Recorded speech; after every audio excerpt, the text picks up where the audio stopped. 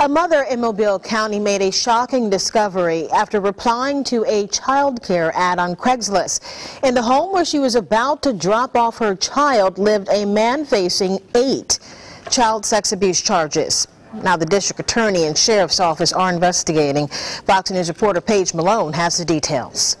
It's tough finding childcare for a special needs child. So this woman took a shot at one of the hundreds of ads posted on Craigslist. That's where she found Monica Caraway. She had a husband that was a preacher.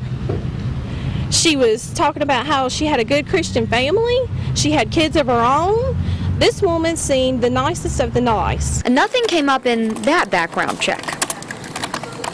Then she typed in the woman's husband's name, Jeremy Caraway, and this is what she found.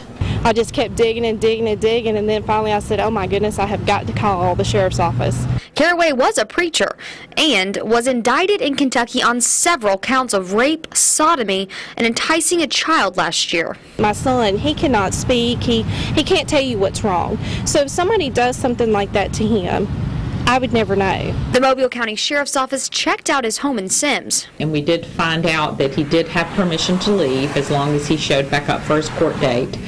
Um, but our question is, do they have other children in their care right now? If so, do those parents know that he has these charges back in Kentucky? We also tried to stop by the home.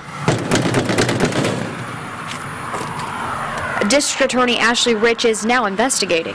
He hasn't been convicted yet, but he's got some serious charges that he's facing. So they need to know that right now before they make a decision to place their children in his home in a daycare. As far as she can tell, the courts hadn't put any restrictions on Caraway while he awaits trial and is looking to see if he committed any crimes while in Mobile County. I am so proud of this citizen who had the guts to come forward and tell us, um, you know, what was going on right here in our community. You need to really fight for your child, and you really need to make sure that your child's safe in anybody's hands because you've got one shot at being a mother.